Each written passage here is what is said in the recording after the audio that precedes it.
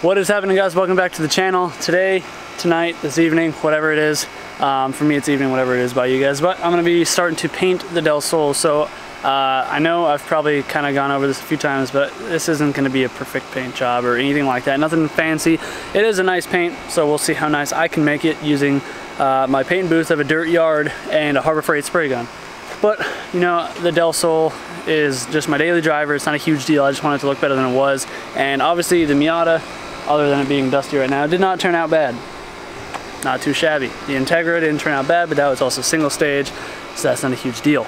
Um, but yeah, so I'm gonna go ahead and I'm gonna just start wiping this thing down, and then uh, my girlfriend and I, we're gonna start masking off the windows and stuff, and then I'm just gonna mix up some paint, try and get the base coat laid down while I have a little bit of daylight left, because I don't wanna try and get even coats on that while I'm using, I don't know, night light or something. The clear coat's not as much of a deal because it's clear.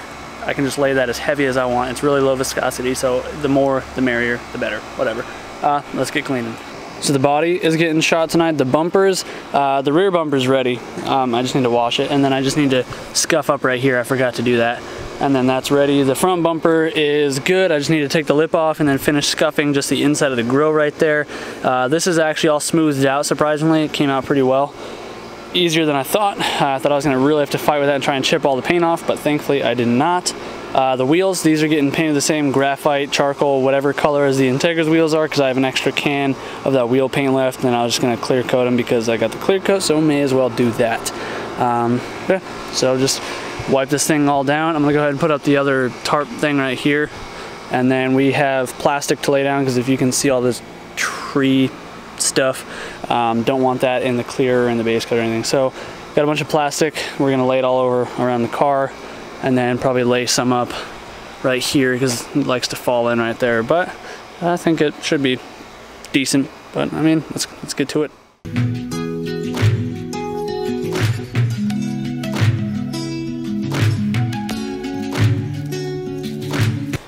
So it ended up getting pretty dark pretty darn fast. So we're just gonna get the uh, windows and everything masked up. I already got this half of the car wiped down. She's working on uh, masking it up. And yeah, I guess I'll come out here first thing in the morning because Lord knows it's summer here in Arizona, so it's gonna be 100 degrees by seven o'clock.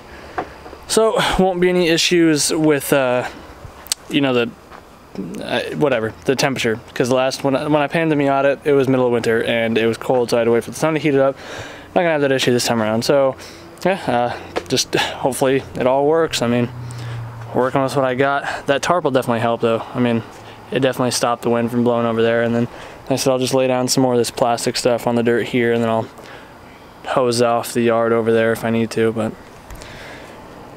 into the morning we go. I decided to just wait till the next day. It is now the next day um, because last night when I had the spotlights up or whatever, there were just bugs all over the car. I didn't want to try and deal with that. Um, but I did uh, notice something, and that is the clear coat that I'm using. Um, I, did, I, thought I had more of it because I guess I used more than I thought on the Miata because I went super heavy. So this is about half full. This only feels like it's about quarter full, so I don't know why I would have used um, more because this is a four to one. So I don't, I don't really know what I was doing there. But I'm to try and shoot the entire body with this stuff, this clear coat. I have some more clear coat. I have a little bit extra in the shed of a different brand. They're both urethane based, so I should be okay.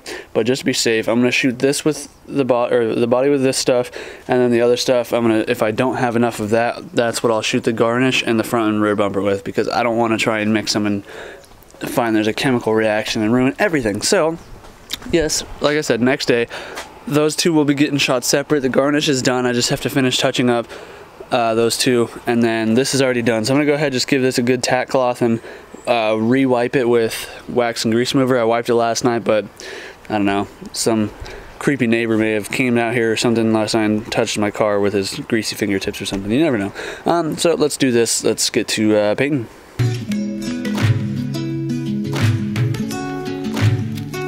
Car's wiped down. We got our plastic covering the dirt on both sides. Let's go make some paint. So I'll be using two guns, one for base and one for clear. Uh, and the paint is really simple. It's a one-to-one -one mixture. So one part paint, one part uh, reducer, stir, and shoot. So I'm gonna go ahead and mix some of this up and we'll uh, jump right into shooting it.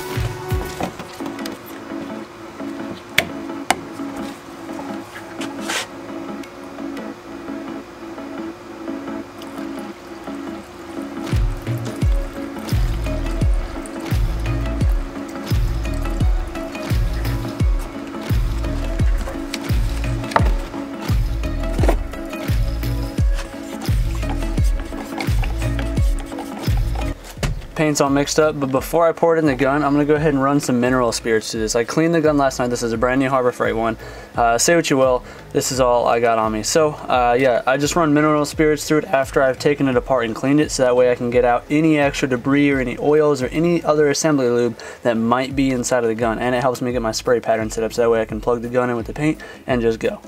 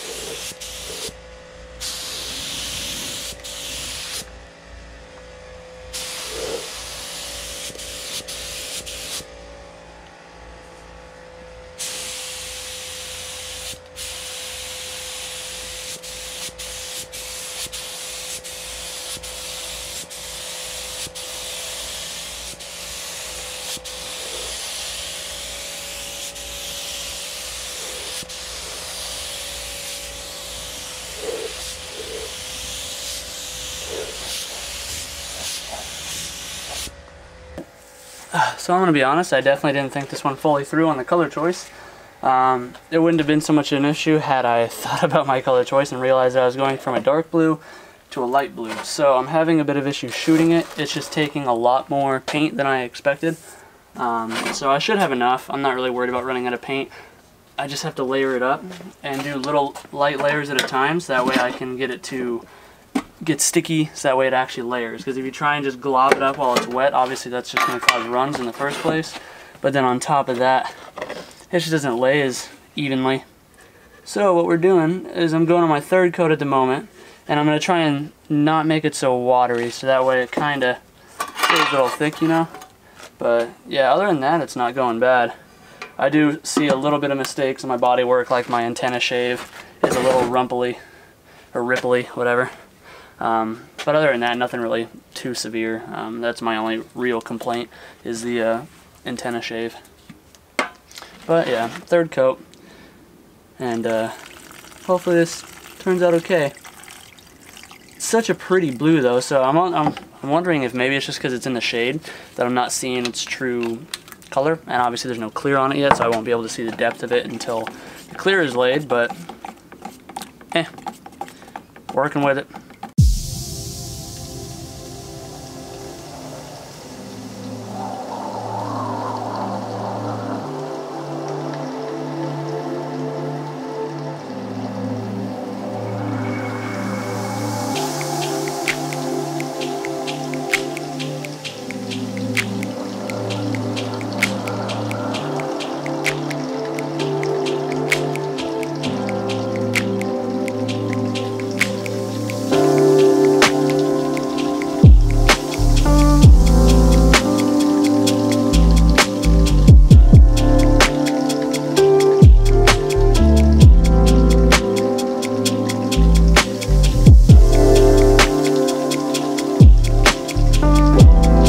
Base coat is all done. I did four total coats because like I said, it laid really, uh, really light and had to get coverage over some of the other spots. And it looks on camera pretty much the same as it did before without all the black and white marks from sanding. But uh, in person, it is definitely different. It's the way I'm looking at it right now, it's a very flat blue silver, which looks cool. Um, but yeah, you know, maybe doing a light blue over a dark blue probably wasn't the best idea. But yeah, my main main complaints is my little high spot dots from my uh, body puller. Those are very noticeable. And then my antenna shave, which is also extremely noticeable. Um, that, I mean, it looks better than it did before, just having some crappy plate blocking off that wasn't even flush to it. And this looks pretty much just as bad as the dings that were there. So, uh, I still have a lot to learn. This just goes to show you guys that obviously I am not doing anything different than you guys are. I'm just trying. So let's mix up some clear coat, get that laid down, and then uh, the body will be done. Then I can just finish up the bumpers.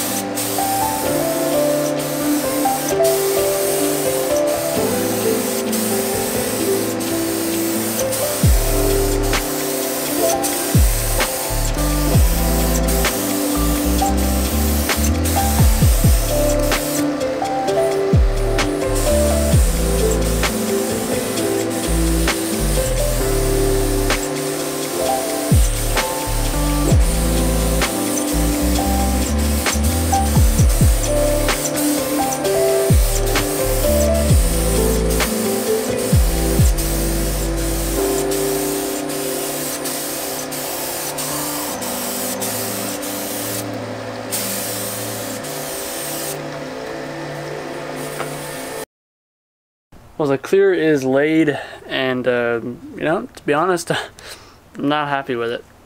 So I think what I'm most disappointed in is the shade of blue is uh, not as light as I hoped it for. I all the pictures made it look a lot lighter. Maybe it'll change when it's in the sun because it is a pearl.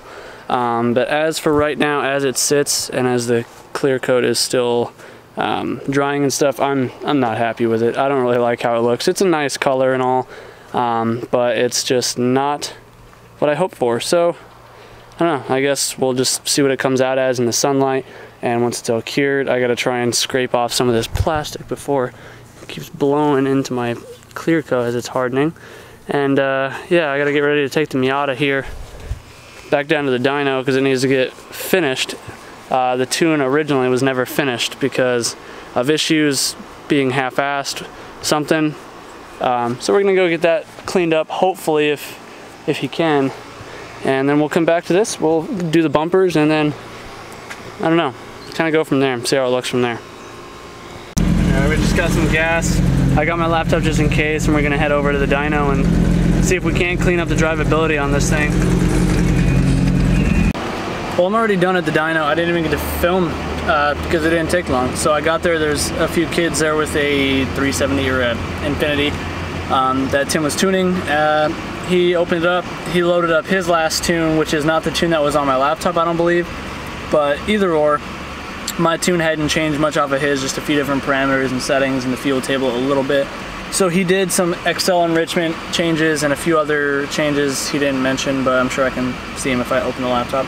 Uh, but car feels better for sure. I don't know what he did.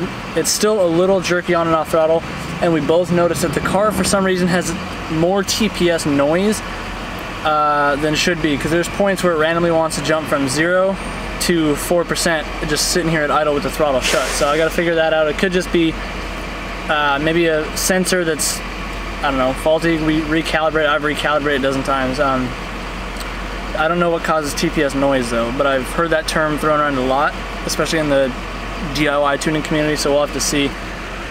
But it runs better. That's a start. Let's go home. Paint's been curing for a bit now. Let's kind of see what we're looking at now. Uh, I did order more clear coats, that way if I need to, I can cut back wet sand or whatever and throw some more on the body but I still ran out and I don't have enough for the bumpers and stuff and I don't feel like using the other stuff that I found in the shed. So let's get home, see how this looks. The car did great on the drive home. I'm actually pretty stoked. Uh, temps are still not, they're not high. I mean, they're within range, but they're higher than they have been because I haven't been driving the car in the middle of the day like this, especially at freeway speeds. So I think I'm definitely still gonna need to get some hood vents on this thing because my temps were sitting right around 200 to 205 on the freeway at 4,000 RPM, which is a little higher than I would like, especially since my thermostat's at 180. So, um, see how the Del Sol's looking though. Okay, we're not looking too bad now. Now that we let it settle for a bit. Now that the sun's in some of it, at least. Maybe this clear coat wasn't so bad after all. And of course, there's tree poop. Good thing this stuff's already hard. Yeah, we're not looking too shabby, eh? Can definitely see my mistakes in my bodywork, but that's beside the point. As for color, not too shabby, eh? Regardless, I still gotta wait for the new clear coat to show up before I can even do the bumpers and stuff, so I think this is probably gonna sit where it sits, and uh, just for the hell of it, I might even just give it a wet sand and reshoot some of the clear just to get extra gloss and extra protection, but I don't know, we'll see. We'll see how it looks after I try and polish out a spot, but for now, let's get inside, get some air conditioning. So what this brought us into the next day, and uh, you know, I don't know what it is. Maybe it's just the type of paint that this is. Maybe it's pearl or something, but once it dried up a bit yesterday, I came back out to it today, uh, the camera's not going to do it justice, but this is actually turning out to be a pretty sweet color. So I still need to, uh, you know, like I said in the last clip, I need to do the wet sand and then potentially re-clear, especially this side of the car. This side is very dull, and I think it's because I uh, sprayed it too far away, to be honest, and or maybe my clear coat was just old. Um, either way, this side needs to be wet sanded and then I'm gonna re-clear it. Um, but yeah, like this fender looks great. Uh, and then this side of the car looks pretty good, minus just being orange peeled. But it's actually pretty neat color. It's like almost a silver in the light. Like it's it's pretty cool. But now I'm out here, I got the side skirts off, the front lip off. I'm just gonna give that a quick scuff, finish chipping the paint off right there, and then I'm gonna shoot those with the SEM stuff, even gave it a little drift stitch because it was cracked. Uh, as for the wheels, I just finished washing these, so I'm just letting them dry out real quick. So they should be dry. So I'm gonna go ahead, try and find some index cards or something so I can mask those off, and then uh, shoot those. And uh, then I got my front bumper over here which the rear bumper's all prepped. I prepped that yesterday. Garnish is prepped. And this bumper I just been chipping away at this thing like literally chipping away. Like that's all paint chips. Yeah so whereas I thought it was all smooth up here which it is pretty pretty leveled out it's like I caught a corner on one little piece here and then it just all started flaking up so I just took the razor blade and I was just scraping piece after piece after piece so I got time since I'm waiting on the clear coat to come in uh, so I'm gonna just go ahead and try and prep this bumper as much as I can and try and get as good of a finish as I can out of it. Um, it is pretty beat up from just rock chips and stuff. Like there is gouges and stuff in it, um, but it'll work. It'll work just fine. So I don't know where all my index cards went. Uh, so I am having to do one wheel at a time. At least for now, I'm gonna just do it one wheel at a time for the base coat and then I'm gonna go pick up some lunch, and then while I'm out, I'll pick up some more index cards. That way when I clear it, I don't have to try and do one wheel at a time. Um, but yeah, I think it'll be a neat little color. Much better than that raw, old, crappy silver that I uh, that's just like raw metal. So every time I don't wash the wheels for like a couple days at a time, they get like a grayish, just ugly color. So I think this gunmetal look much nicer. If you're wondering what I'm actually using, it's just this stuff. Nothing fancy.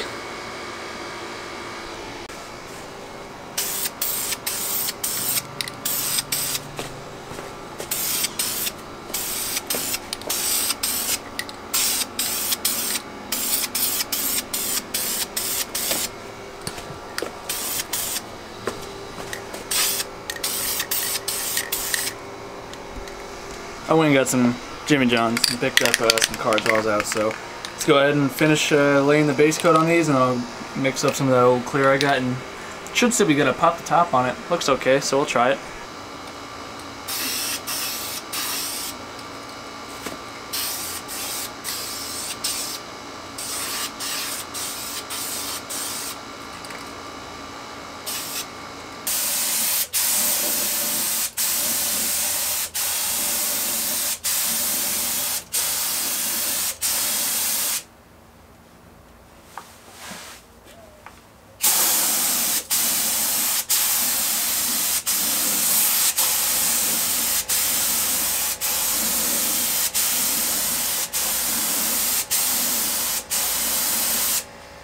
Well, I'd say that clear coat was still good. These wheels are looking pretty minty right now.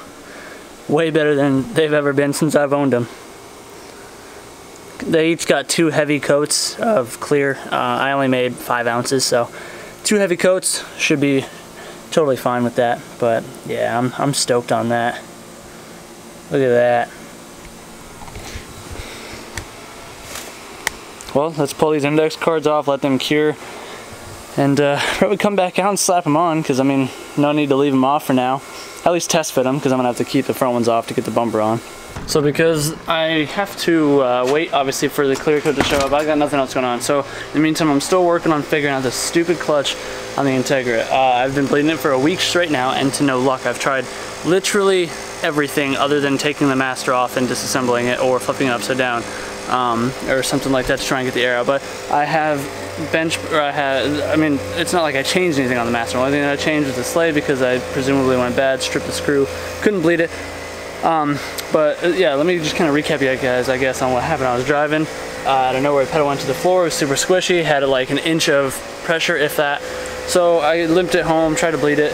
Slave cylinder, screw, bleeder, screw stripped out, so I replaced that, it's a brand new one um, and I've been trying to bleed it for a week. So I've tried gravity bleeding, I've tried single pumps and hold, I've tried pumping and holding, I've tried vacuum bleeding, I've tried reverse bleeding, I've tried bleeding at the firewall fitting that I have, I've tried bleeding at the master cylinder. So pretty much what it's doing is if you just rest your foot on the pedal, it sinks into the floor and then you can pump it up and it'll hold and then every two or three pumps it'll just go straight to the floor again and even though at the slave and stuff I've everywhere I bleed it I've got a solid stream like no bubbles. So can't figure this out.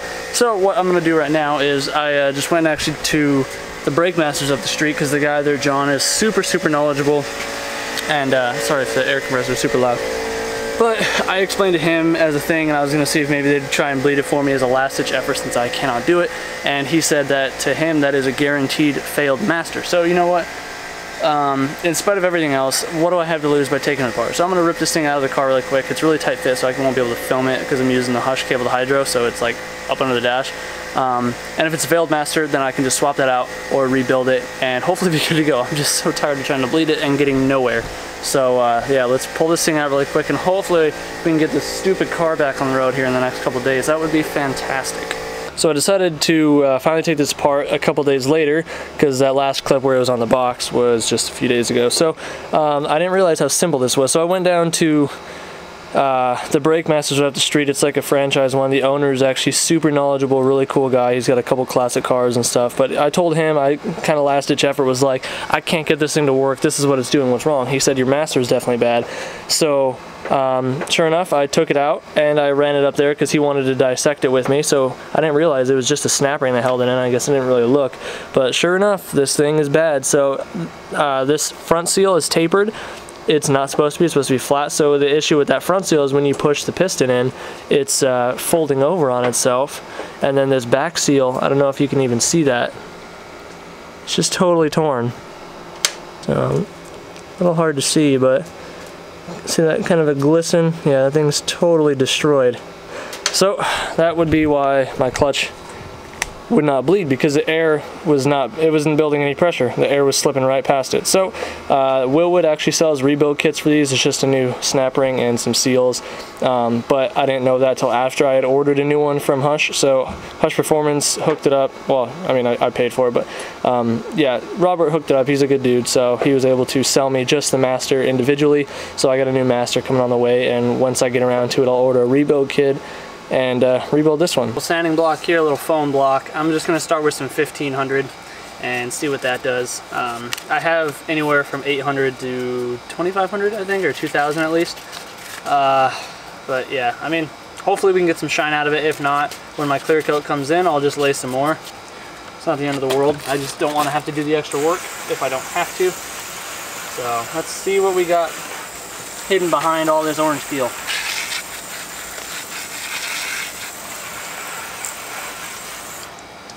Nice and drenched. So with the wet sanding though, you don't want to apply any pressure. If there's one thing I've learned from this. Go super light on the edges, don't burn through. But just in general, just use the weight of your hand when you're doing this. And after it starts to stick a bit, that's when it's starting to smooth itself out. This was cut down from 1,000? Yeah, 1,000 to 2,000. So, yeah, just got to throw some polish on it and see what happens. But uh, this will be the telltale if this car has any hope for it. Because I mean, if you guys remember when I painted the DA, that thing was nasty looking when it first came out. I mean, it's single stage, so, I mean, same but different, I guess. I don't know, whatever. But it was cloudy, it was ugly, it was dark, flat blue, and now it's all shiny despite there being three inches of dirt on it. So I have hope that this car can clean up well. And uh, if you guys already don't know, if you guys are local and you need your cars detailed or you need your paint corrected, because he's actually doing a uh, paint correction on a Scat Pack this coming week. So hit up Revision Detailing, aka my brother, and uh, get your car serviced. And if, depending on the day of the week and how broke I am on that day, you might get might get me out there with him. but yeah, so let's uh, let's see what this what this cleans up to be.